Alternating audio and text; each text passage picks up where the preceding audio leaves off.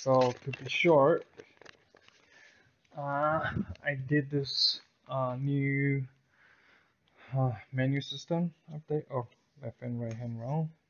Change that.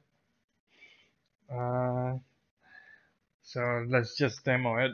So right now, button and trigger there's nothing, but I can click menu button, but you can literally do any use like a grip button or however you like it to trigger it.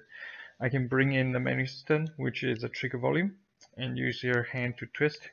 Uh, this is similar to how budget cut does it, but it, you, you just like use the hand twist to select the function you want, and then just put it. Say I want to use teleport, and then once you have teleport on, you just pull your hand out of the volume, like that.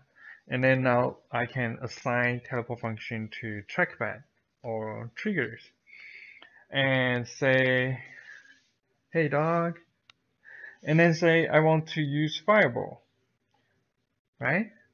Then it becomes triggers button, trigger button, fireball, like that. And now trackpad lose function because you can only assign uh, one function to a controller at a time. That's how I design it. But you can potentially want to override or do whatever you like to the template. Now left hand you can also do the same thing. You can do the same do both left and right at the same time. Uh, but for this uh, purpose, I don't have any other thing other than teleport and fireball. So let's say if I have two fireball on and put it out, uh, whichever left the volume last will have the fireball. So which happens to be the right trigger because I limit it to only one controller. So only one controller will get the function assigned uh, and it has uh, mutually exclusive function as well.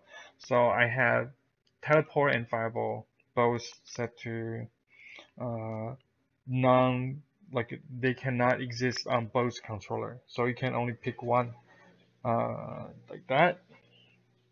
So let's see, not teleport, fireball.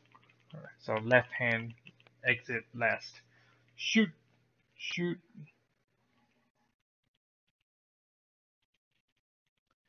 Um, that's that. So please, let's use teleport to go back there.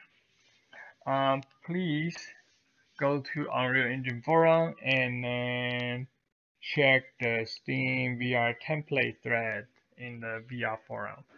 That would be it.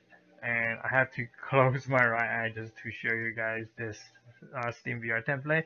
I think right now it's 1.8 and this is probably going to be my last contribution before I move on to the next project uh, to do my own project instead of you know continue doing this and then didn't do my own project. And I hope this would be something you guys could use in the long run. That's all